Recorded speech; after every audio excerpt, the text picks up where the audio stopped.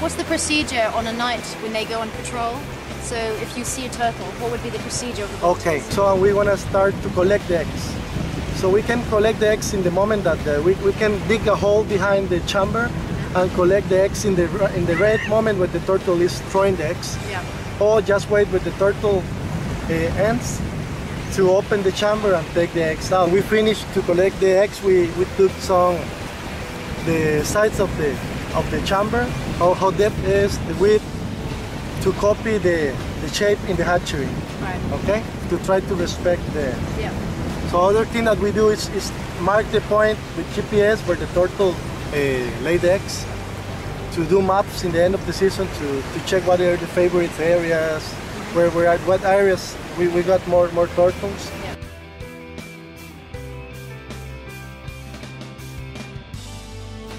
And in this, in this swamp is the area where we found the baby caimans. So it's a good, it's a good place to teach the volunteers about the biology of caimans because the little ones are really easy to handling. So, and so we, we catch the caimans here and we tag the, the animal just cutting, doing like a little cuts in the, in the tail here in the night. So we prefer to come down when there's like a new moon that's really dark. Mm-hmm. So because it's, it's, it's easy for us to catch them because with, with moonlight they, they can see us easily. So the idea is work here with the babies and we mark the, the point with GPS. So and we, we come down to the river too. So if we found a, a, a croc, we, we, we try to, to estimate the size just with the size of the head and the, the, the, the eyes.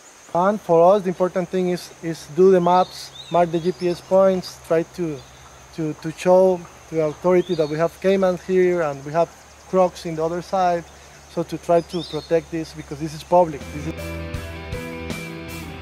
Finish, come down, breakfast is waiting for me. There's coffee, there's whatever Aitor has prepared, who's our, our cook.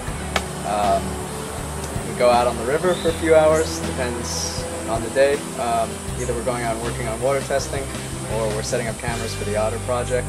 And uh, we come back close to midday, as it gets pretty hot, and then lunch is waiting, which is always something else. It's kind of exciting. I, I eat everything, so it's good. Good food. Yeah, uh, I love I love our cook. um, and then uh, you get some downtime for a little bit. You can hang out, read, go to the beach, and then in the afternoon we'll set off again. Either go back to the river. Um, kind of depends what's going on. We can if we're, working on the caiman project, then we'll, we'll hang out in the afternoon. and We go out in the evening after dinner. Um, then uh, sometimes there's there's work to be done in the actual reserve itself. We have to analyze the samples we've collected in the lab, which can be actually a lot of fun. Uh, and there's always kind of people coming by and new things going on, new animals being spotted. So John, just um, if you just want to tell us about the sort of projects you've been involved in since you've been here. with their caiman project. So we were out looking for caimans, and they marked them and tracked them and measure them, and um, the, with the goal of ultimately evaluating how they're how they're maturing. They were little baby caimans, how they're maturing, and what's happening with the population. So that was really interesting, and So it's good to come on a project like this with your son as well. You think it's it's a, been great. it's a good it's a I think project it- that's suitable for all ages then. Absolutely. I mean, I think he's gotten, I know he's gotten a lot out of it, and um, I think it's a great thing to do, whether as a family, certainly could do it with more than just father, son, or mother, daughter, but as a family. Um, and they are very eager to have everybody involved. So they're, uh, with a teenage, with a teenager, I don't think they're inhibited in any way in terms of what they could do uh, on any of the projects that I've been involved in to this point.